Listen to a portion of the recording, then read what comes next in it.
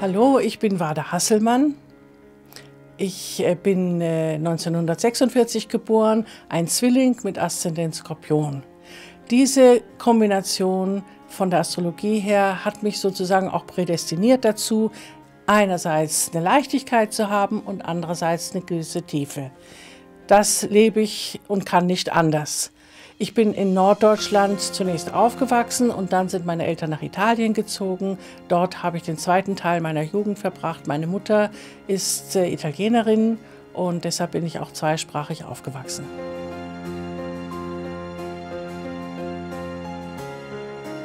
Mein Weg zu meiner heutigen Tätigkeit oder Nicht-Tätigkeit als Transmedium äh, war etwas äh, kurvenreich. Und zwar bin ich erstmal in Mailand äh, zur Schule gegangen. Dann bin ich nach Deutschland gekommen zum Studieren. Ich habe französische Literatur und englische Literatur studiert und äh, habe dann eine äh, Dissertation geschrieben über König Artus und seine Tafelrunde. Die war sehr gut, also haben alle gesagt, du musst weitermachen, du musst Professorin werden. Das wollte ich auch gerne, das war mein Lebenstraum. Dieser Lebenstraum hat sich irgendwann verflüchtigt, äh, weil ich das Gefühl hatte, äh, nachdem ich nah dran war und schon die ersten äh, Bewerbungen auf Lehrstühle hinter mich gebracht hatte, dass das wahrscheinlich nicht mein Weg sein wird. Das war aber nur so ein komisches Gefühl und ich war sehr traurig drüber, denn ich wollte sehr gerne an der Universität bleiben und dort meine Arbeit tun und auch bekannt werden. Ich war auf dem besten Wege dazu. Aber das Leben hat es anders gewollt. Ich hatte bis, da schon, bis dahin schon sehr viel geschrieben und veröffentlicht und Schreiben war immer schon seit meiner frühen Jugend eigentlich mein Lebenselixier gewesen und unterrichten tue ich auch ganz gern. Als ich meine schöne Beamtenposition an der Universität Göttingen aufgegeben habe, wusste ich überhaupt nicht, wohin mein Weg mich führt, was aus mir werden sollte. Ich spürte nur den Impuls, ich muss da weg, obwohl ich es dort so schön fand. Aber ich habe dann jahrelang äh, Dinge getan, die ich vorher nicht tun konnte. Ich habe meditiert, ich war viel in Indien, ich habe alle möglichen Sachen gelernt.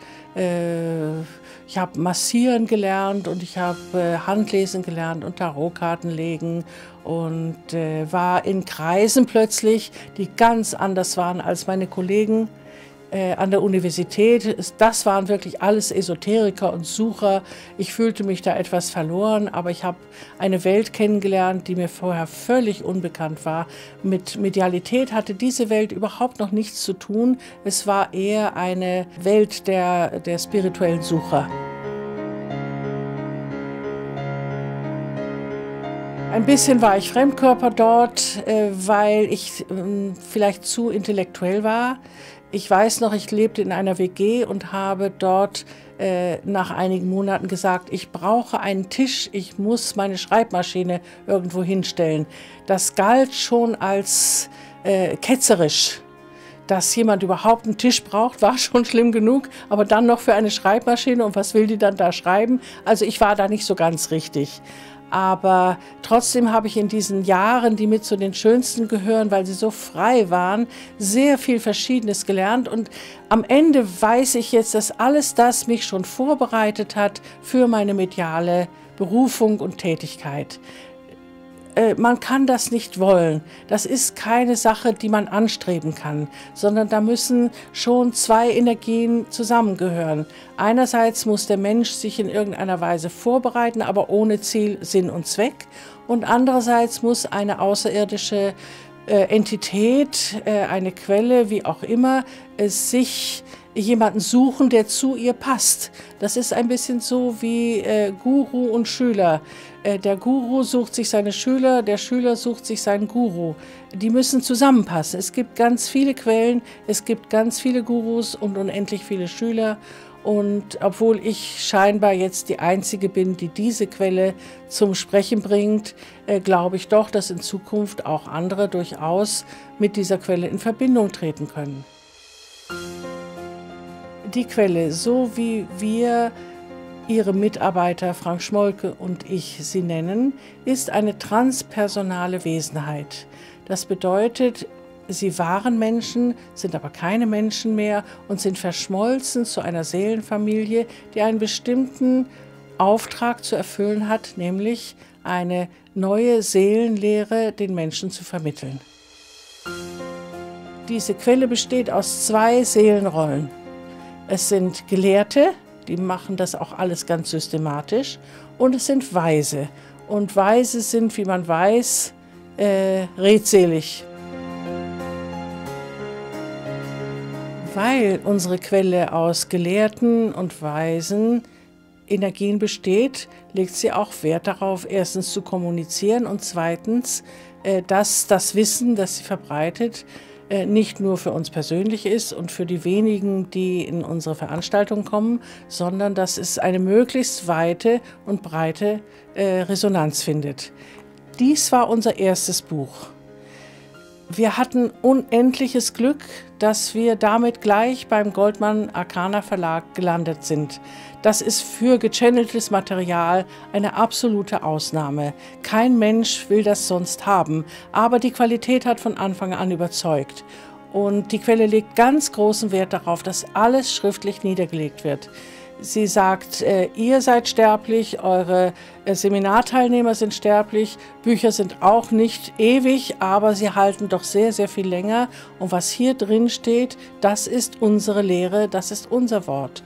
Und deshalb sind die Veröffentlichungen so wichtig. Ähm, wir haben ja eine ganze Reihe von Veröffentlichungen. Ich sage nochmal hier Weisheit der Seele, dann das Basiswerk die Archetypen der Seele. Das ist das zentrale Werk. Ich würde aber immer äh, raten, einzusteigen mit Welten der Seele.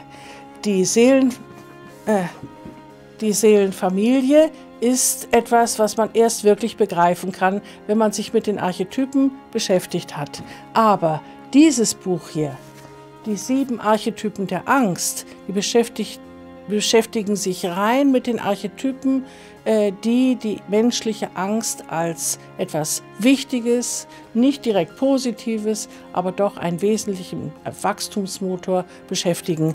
Dieses Buch hat auch 500 Seiten oder noch mehr, äh, kann praktisch jeder, der sich mit äh, Menschen beschäftigt, sehr gut gebrauchen, denn Angst hat jeder in der einen oder anderen Form und die Angst an sich selbst und bei anderen zu erkennen, ist eine ganz große Hilfe im gegenseitigen Verständnis in jeder Therapie, äh, für jeden Physiotherapeuten, für jede Krankenschwester, äh, für jeden Arzt äh, und alle, die mit Menschen arbeiten, aber auch in der Familie, die gegenseitigen Ängste zu kennen und darüber zu lachen, ist sehr heilsam.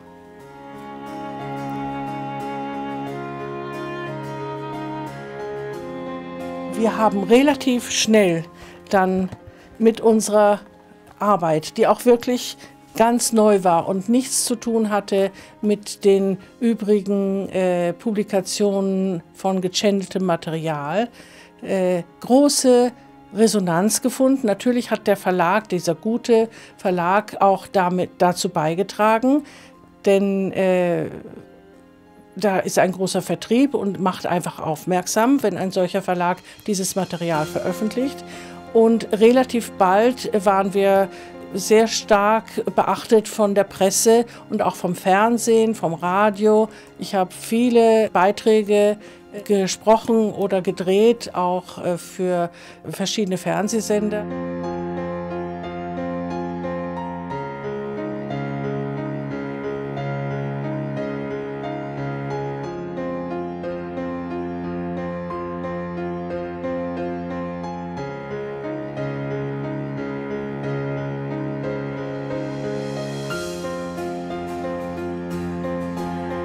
Aber das Wichtigste war doch dieser äh, Film, der heißt Verbindung zur Quelle und wurde in den dritten Programmen sowohl in Österreich als auch in Deutschland, also Dreisat und äh, ORF 3 und äh, BR3 mehrmals gesendet, sodass es ein ganz großes Publikum erreichte, was wir anzubieten haben. Das Wunder das mit diesem Film, mit diesem Dokumentarfilm äh, verbunden war, ist, dass äh, er gedreht wurde von äh, dem Bayerischen Rundfunk der Abteilung Stationen. Das ist der religiöse Sender eigentlich unseres doch in gewisser Weise noch recht konservativen Bayernlands. Dass die sich getraut haben, diesen Film über uns zu drehen, war eine unglaubliche Sensation, auch im Sender. Zweimal wurde die Ausstrahlung verschoben, weil irgendwelche Leute Veto eingelegt haben. Also auf keinen Fall durfte es in der Adventszeit gesendet werden, weil es doch möglicherweise ein bisschen ketzerisch ist, dass es auch noch andere Zugänge gibt zum Göttlichen als nur übers Neues Testament. Aber wir stehen in keiner Weise äh, im Kontrast oder im Widerspruch zu irgendeiner Religion, zum Christentum schon gar nicht und zur Bibel auch nicht. Das haben die verstanden und deshalb wurde es auch gesendet. Das ist mein erster großer Roman. Er heißt Die Seele der Papaya, war sehr erfolgreich, ist 1999 zum ersten Mal erschienen, hat viele Auflagen erlebt und äh, stellt die Seelenlehre der Quelle in poetischer Form unter anderem dar. Ist aber auch einfach ein sehr spannender Abenteuerroman, der in Indien spielt. Als ich dann in Deutschland zu studieren begann, habe ich sehr bald, ich war noch nicht 21, noch nicht volljährig, meinen späteren Mann kennengelernt. Und es war sofort eine ganz große, innige Verbindung und Liebe. Das war 1967, ist jetzt schon lange her. Und wir arbeiten jetzt seit 1990 an diesem großen gemeinsamen Projekt zusammen. Wir haben aber auch zusammen studiert und äh, wir sind eine ganz eingeschworene Gemeinschaft. Äh, wir haben aber auch eine seelische Verbindung. Wir betrachten uns als Seelenzwillinge und diese Seelenzwillingschaft ist, wie man in den Büchern sehr gut nachlesen kann, die uns äh, die Quelle äh, da erklärt hat, keine ganz einfache Verbindung. Es ist eine Verbindung mit äh, vielen Höhen und Tiefen, aber ganz unverbrüchlich. Und dass wir zusammen dieses Werk in die Welt setzen können, ist eine so großartige Sache. Wir könnten es nicht einzeln machen. Wir können es nur zusammen machen. Und das wissen wir beide und das hält uns auch jenseits aller äh, Gefühle auch in dieser Beziehung das ist für uns etwas so Wesentliches und wir machen das mit großer Freude zusammen, bis es nicht mehr geht.